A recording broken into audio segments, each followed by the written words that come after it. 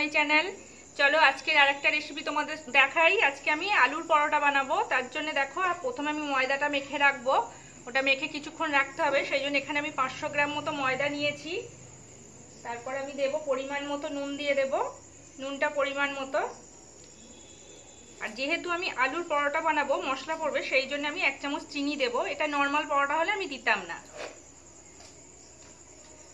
আর দেব দু চামচ মতো নর্মাল যে রান্নার তেল, ওই তেল। তোমরা এখানে বাটার বা ঘি ইউজ করতে পারো। এই সবগুলোকে আমি ভালো করে ময়দার সঙ্গে আগে মিশিয়ে নেব।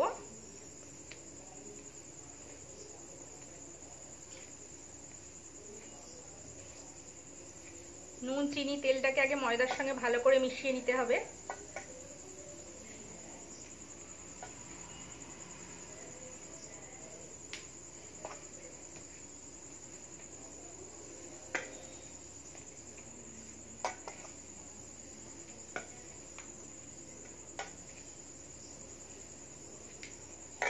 দেখো, আমি ভালো করে মিশিয়ে নিয়েছি এগুলোকে।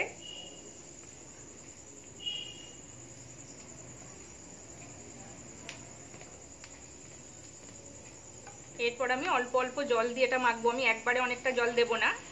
আর আমি এখানে নর্মাল জল নিয়েছি।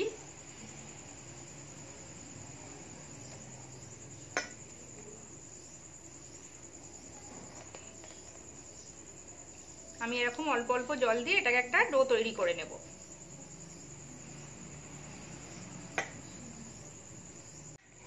দেখছ, এটা আমি হয়ে এসছে একটা ডো তৈরি হয়ে গেছে। এরমভাবে একটু ফেসে নিয়ে এটাকে আমি এখন ঢেকে রাখব। কুড়ি মিনিটের জন্য এটা রেস্টে রাখব। পুরো সেট হয়ে যাবে, কারণ চিনি টিনি দেওয়া আছে। তাহলে চলো, কুড়ি মিনিট পরে তোমাদের দেখাচ্ছি কিরম করে এগুলো বানাবো। চলো, এবার আমি আলুটা রেডি করব। দেখো, এখানে আমি চারটে আলু সিদ্ধ করে রেখেছি। আমি গ্যাসে কড়া বসিয়ে দিয়েছি। কড়ায় তেল দিয়ে দিলাম।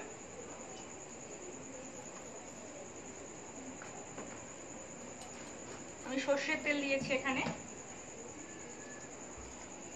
আর এখানে আমি একটু পেঁয়াজ, একটুখানি সামান্য আদা, রসুন আর একটু কাঁচা লঙ্কা।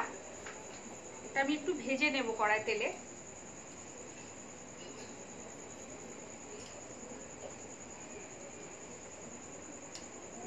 তেলটা গরম হোক।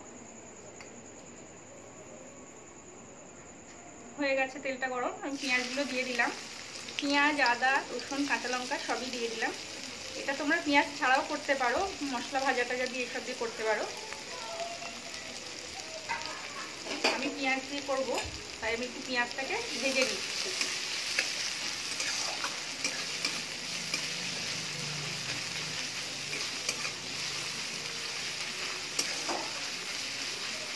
পেঁয়াজটা ভেজে তোমাদের আলুটা মেখে দেখাচ্ছি। দেখছ, এটা ভাজা হয়ে গেছে। তাহলে চলো, এটা তোমাদের আলুর সঙ্গে মেখে দেখাই। এটা আমি এবার তুলে নেব আলুতে। আমি গ্যাস অফ করে দিলাম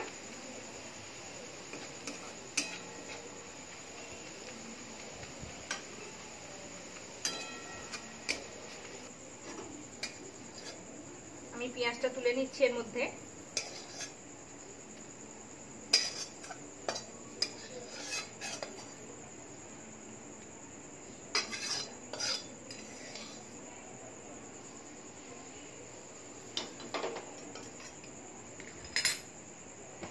এতে আমি আর একটু নুন দিয়ে দেব। নুনটা পরিমাণ মতো।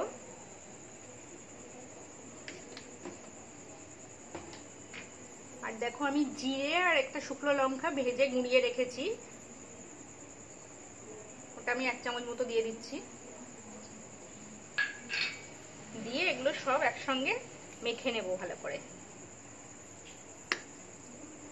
তোমরা এতে একটু ধনে পাতা অ্যাড করতে পারো। আজকে আমি ধনে পাতা আমার ঘরে নেই বা বাজারেও পাইনি, সেই জন্য আমি আমি নিরামিষ করব ভেবেছিলাম এটাকে পেঁয়াজ না দিয়ে, কিন্তু ধনে পাতা পাইনি বলে আমি আবার পেঁয়াজ টিয়াজ দিয়ে বানাচ্ছি। এর সঙ্গেও ধনে পাতা দিলে খুব টেস্টফুল হয়। এটাকে আমি ভালো করে মেখে নেব।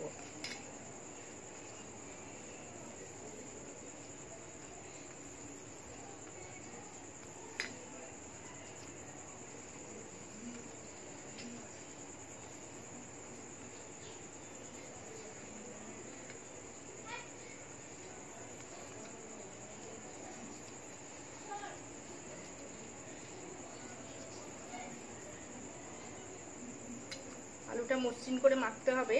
তা নইলে বেলতে গেলে আলু যদি ডেলা থাকে বা গোটা থাকে, বেলতে গেলে পরোটাটা ভেঙে মানে ছিঁড়ে যাবে, বেরিয়ে যাবে মাখাটা।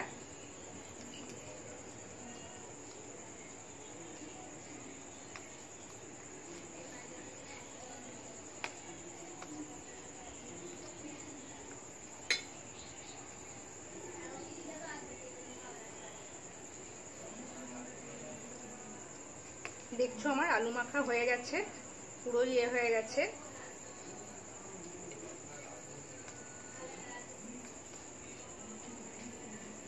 আলু মাখাটা রেডি হয়ে গেছে আমার। ময়দাটা আমি কুড়ি মিনিট ঢেকে রেখেছিলাম।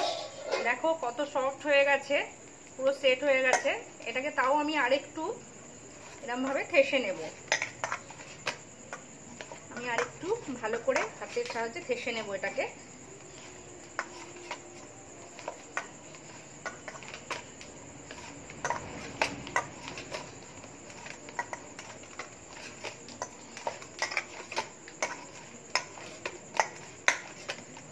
নিয়ে এটাকে আমি দুটো ভাগ করে নিলাম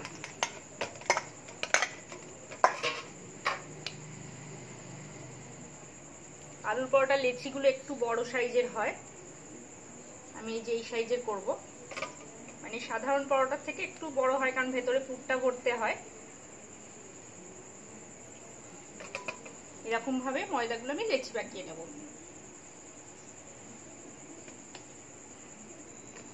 দেখছ, ময়দাটা আমি এরকম ভাবে লেচি পাকিয়ে নিয়েছি।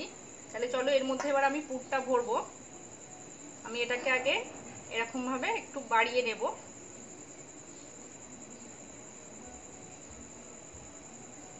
দেখো, এরকম ভাবে করে নেব। নিয়ে এর ভেতরে আমি আলুর পুরটা দেবো।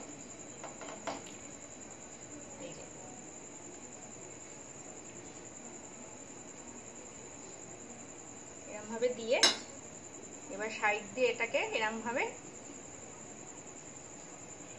মুখটা ভালো করে মুড়ে দিতে হবে।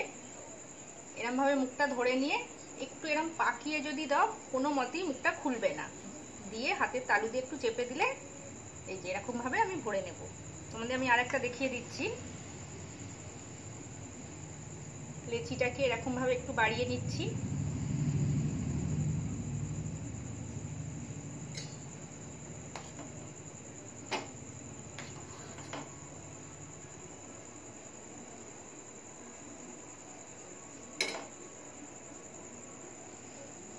দিয়ে এরকম ভাবে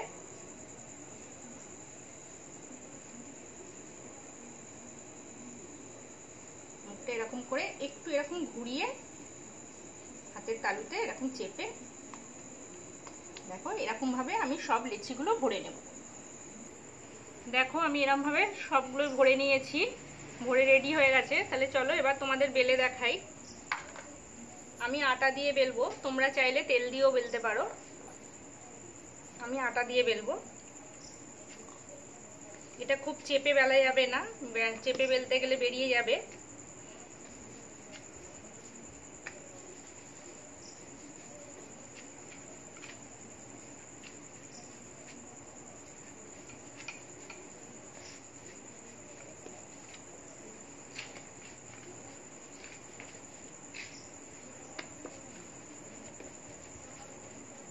এরকম ভাবে আমি সবগুলো বেলে বেলতে থাকব আর এদিকে ভাজতে থাকব। আমি এদিকে চাটু বসিয়ে দিয়েছি। তাহলে চলো তোমাদের ভাজাটা দেখাই। আমার একটা বেলা হয়ে গেছে এরকম ভাবেই সবগুলো বেলবো। দেখছ, আমি চাটু বসিয়ে দিয়েছিলাম, চাটু গরম হয়ে গেছে। এটাকে একটু আমি ঝেড়ে আমি দিয়ে দিলাম।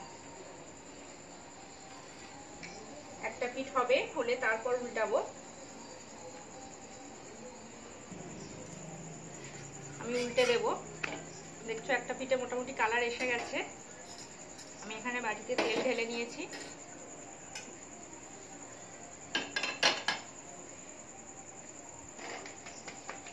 আমি এদিকে আরেকটা দিয়ে দিলাম।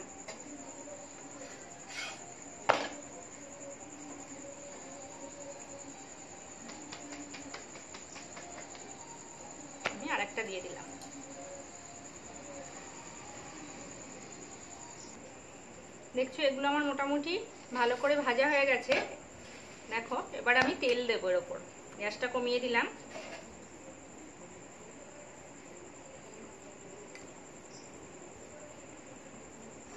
দিয়ে এরকম ভাবে আস্তে আস্তে উল্টে পাল্টে দেবো। দিয়ে ভালো করে এরকম ভাবে সব পরোটাগুলোই উল্টে পাল্টে ভালো করে ভেজে নেব।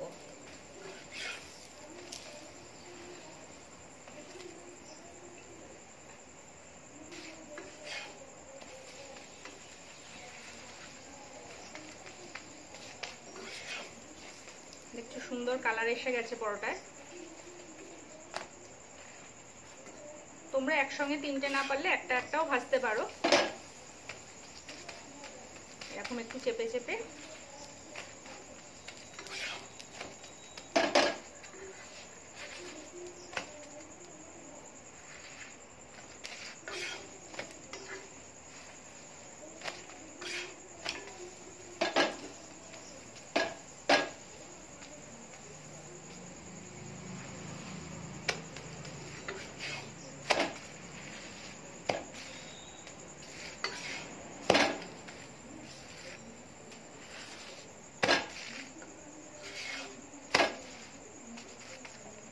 চলো রেডি হয়ে গেছে আমার আলুর পরোটা। আমি এটাকে তুলে নিলাম। দেখো, সুন্দর কালার এসছে, সুন্দরভাবে চারিদিকে ভাজা হয়েছে। তোমরাও বাড়িতে বানাও, বানিয়ে খেয়ে দেখো কীরকম লাগল আমাকে জানিও। ঠিক আছে, আবার নেক্সট কোনো রেসিপি নিয়ে তোমাদের সামনে হাজির হব। আজকের মতো, টাটা।